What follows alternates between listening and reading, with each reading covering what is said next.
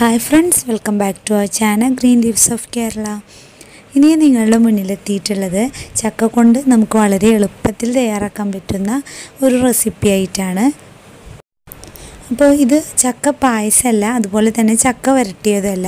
അപ്പോൾ നമുക്ക് എന്താണെന്ന് നോക്കാം. അപ്പോൾ വീഡിയോയിലേക്ക് കടക്കുന്നതിന് മുന്നേ എന്റെ ചാനൽ സബ്സ്ക്രൈബ് ചെയ്യാത്ത കൂട്ടുകാരാണെങ്കിൽ ഒന്ന് സബ്സ്ക്രൈബ് ചെയ്ത് സപ്പോർട്ട് ചെയ്യണേ. അപ്പോൾ നമുക്ക് വീഡിയോയിലേക്ക് പോകാം. അതിന് വേണ്ടിയിട്ട് ഞാനിവിടെ കുറച്ച് നല്ലപോലെ പഴുത്ത ചക്ക കുരുവൊക്കെ കളഞ്ഞ് ഒരു പാത്രത്തിലാക്കി ക്ലീനാക്കി വെച്ചിട്ടുണ്ട്. ഇനി നമുക്ക് ആദ്യം ഇതൊന്ന് മിക്സിയിലിട്ട് നന്നായിട്ടൊന്ന് ബ്ലെൻഡ് ചെയ്തെടുക്കണം. അപ്പോൾ ഞാൻ നന്നായിട്ട് ബ്ലെൻഡ് ചെയ്തെടുത്തിട്ടുള്ളതാണിത്. ഇനി നമുക്കൊരു പാത്രം അടുപ്പിൽ വെക്കാം. ഈ പാത്രത്തിലേക്ക് നമുക്ക് നമ്മൾ നന്നായിട്ട് ബ്ലെൻഡ് ചെയ്ത് വെച്ചിരുന്ന ചക്ക ഇട്ട് കൊടുക്കാം. അപ്പോൾ ഈ ചക്ക ഒട്ടും വെള്ളം ചേർക്കാതെയാണ് ഞാൻ അരച്ചെടുത്തിരുന്നത്. ഇനി നമുക്കിത് നന്നായിട്ടൊന്ന് വേവിച്ചെടുക്കണം. അതിന് വേണ്ടിയിട്ട് ഞാൻ ഈ ഒരു പാത്രത്തിൽ തന്നെ ഒരു കാൽ ഭാഗത്തോളം വെള്ളമാണ് ഒഴിച്ചു കൊടുക്കുന്നത്. ചക്ക വെന്ത് കിട്ടാനായിട്ട് നമുക്ക് ഒരുപാട് സമയമൊന്നും വേണ്ട. എന്നിരുന്നാൽ കൂടി നമ്മൾ ഈ ഇത്ര കുറച്ച് വെള്ളം ഒഴിച്ചു കൊടുത്തിട്ട് വേവിച്ചെടുക്കുമ്പോൾ ഇടയ്ക്കൊന്ന് തുറന്ന് നോക്കുന്നത് നന്നായിരിക്കും. ഇപ്പം ഞാൻ മൂടി വെച്ചിട്ടാണ് വേവിക്കുന്നത്.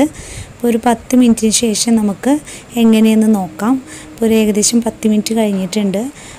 നമ്മൾ ഒഴിച്ചു കൊടുത്തിരുന്ന വെള്ളമൊക്കെ നന്നായിട്ടൊന്ന് കുറുകി വന്നിട്ടുണ്ട്. ഇനി ഇതിലേക്ക് നമുക്ക് ശർക്കര ഇട്ട് കൊടുക്കാം. ഞാനിതിലേക്ക് നാലച്ച് ശർക്കരയാണ് ഇട്ട് കൊടുക്കുന്നത്. അപ്പോൾ നിങ്ങൾ എടുത്തിരിക്കുന്ന ചക്കയുടെ മധുരത്തിനനുസരിച്ച് ശർക്കരയുടെ അളവിൽ മാറ്റം വരുത്താവുന്നതാണ്. ഇനി നമുക്ക് വീണ്ടും ഇതൊന്ന് മെൽറ്റാക്കാൻ വയ്ക്കാം അപ്പോൾ ഞാനിത് ഈ ഒരു സമയത്ത് മീഡിയം ടു ലോ ഫ്ലെയിമിലാണ് ഇട്ട് കൊടുത്തിരുന്നത്.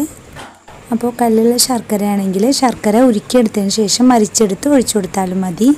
ഇനി ഇതിലേക്ക് ഒരു ടീസ്പൂണോളം നെയ്യ് ചേർത്ത് കൊടുക്കുന്നുണ്ട്. ഈ ഒരു സ്റ്റെപ്പ് ഓപ്ഷണലാണ് നിങ്ങളുടെ കയ്യിൽ നെയ്യ് ഉണ്ടെങ്കിൽ മാത്രം ചേർത്ത് കൊടുത്താൽ മതി. ഇനി ഞാൻ ഇതിലേക്ക് ഒരു നാളികേരത്തിന്റെ നാളികേരപ്പാലാണ് ചേർത്ത് കൊടുക്കുന്നത്. അപ്പോൾ ഇത് രണ്ടാം പാലാണ് ഒഴിച്ചു കൊടുക്കുന്നത്. അപ്പോൾ ഒന്നാം പാൽ ഞാനിവിടെ മാറ്റി വെച്ചിട്ടുണ്ടായിരുന്നു. ഇനി നന്നായിട്ടൊന്ന് കുറുക്കിയെടുക്കണം.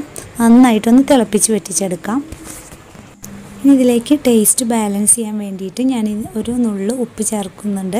ഈ ഒരു ടീസ്പൂണിൽ കാൽ ടീസ്പൂണോളം ഉപ്പാണ് ചേർത്ത് കൊടുക്കുന്നത്. പിന്നെ ഞാനൊരു അഞ്ച് ഏലക്ക ചതച്ചതും ചേർത്ത് കൊടുക്കുന്നുണ്ട്. അപ്പോൾ ഏലക്ക പൊടി ചേർത്ത് കൊടുക്കുന്നവർക്ക് അങ്ങനെയും ചേർത്ത് കൊടുക്കാം. ഞാനിപ്പോൾ ഇവിടെ തൊലിയോട് കൂടി ചേർത്ത് കൊടുക്കുകയാണ്. അപ്പോൾ തേങ്ങാപ്പാലൊക്കെ ഒഴിച്ചു കൊടുത്തതുകൊണ്ട് പുറത്തേക്ക് പൊട്ടിത്തെറിക്കാനുള്ള ആ, സാധ്യത ഉണ്ട് അപ്പോൾ അതുകൊണ്ട് തന്നെ നമുക്ക് മൂടി വയ്ക്കുന്നത് സേഫായിരിക്കും നമ്മൾ കണ്ടിന്യൂസ് ആയിട്ട് ഇളക്കി കൊടുക്കണമെന്ന് നിർബന്ധമൊന്നുമില്ല. നമ്മുടെ ചക്കയിൽ കൺ വാട്ടർ കണ്ടന്റ് ഉണ്ടെങ്കിൽ നമ്മളിത് കണ്ടിന്യൂസ് ആയിട്ട് ഇളക്കി കൊടുക്കേണ്ട ആവശ്യമൊന്നുമില്ല. അപ്പോൾ ഏകദേശം വറ്റി വന്നപ്പോൾ ഞാൻ ഇതിലേക്ക് ഒന്നാം പാൽ കൂടി ചേർത്ത് കൊടുക്കുകയാണ്. അപ്പോൾ ഈ ഒന്നാം പാൽ ഒഴിച്ചു കൊടുത്ത സാധാരണ നമ്മൾ പായസത്തിനൊക്കെ തയ്യാറാക്കുമ്പോൾ ഒന്നാം പാൽ ഒഴിച്ചു കൊടുത്താൽ പിന്നെ നമ്മളങ്ങനെ തിളപ്പിച്ചെടുക്കാറില്ല. പക്ഷെ ഞാൻ ഈ ഒന്നാം പാൽ ഒഴിച്ചു കൊടുത്തതിന് ശേഷം വീണ്ടും കുറുക്കിയെടുക്കുകയാണ്. ഏകദേശം ഈ ഒരു പരുവമായപ്പോഴാണ് ഞാൻ ഫ്ലെയിം ഓഫ് ചെയ്തത്.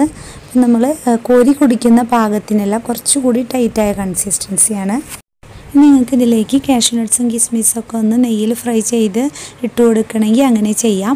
പക്ഷേ അതിന്റെ ഒന്നും ആവശ്യമില്ല. ഇങ്ങനെ കഴിക്കാനും നല്ല ടേസ്റ്റാണ്. നമ്മൾ ഈ ഒരു വിഭവത്തിന്റെ പ്രത്യേകത നന്നായിട്ട് തണുപ്പിച്ച് കഴിക്കാനും ചെറിയ ചൂടോടെ കഴിക്കാനും നല്ല ടേസ്റ്റാണ്. അപ്പോൾ നിങ്ങളെല്ലാവരും ഒന്ന് ട്രൈ ചെയ്ത് നോക്കുക എന്നിട്ട് എനിക്ക് ഫീഡ്ബാക്സും കമന്റൊക്കെ അറിയിക്കുക വീഡിയോ ഇഷ്ടപ്പെട്ടിട്ടുണ്ടെങ്കിൽ ലൈക്ക് ചെയ്യുക ഷെയർ ചെയ്യുക സബ്സ്ക്രൈബ് ചെയ്യാത്തവരാണെങ്കിൽ സബ്സ്ക്രൈബ് ചെയ്യുക. അപ്പോൾ നമുക്ക് പുതിയൊരു വീഡിയോയുമായി വീണ്ടും കാണാം. അതുവരേക്കും താങ്ക്